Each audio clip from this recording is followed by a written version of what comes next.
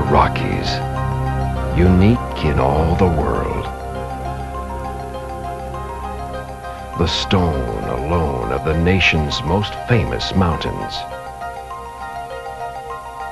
Solitude, an eternity preserved and protected so that man can reach deeply into himself and find nature at the center.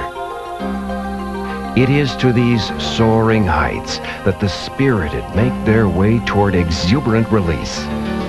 The union of mind and body with the spirit of spectacular peaks.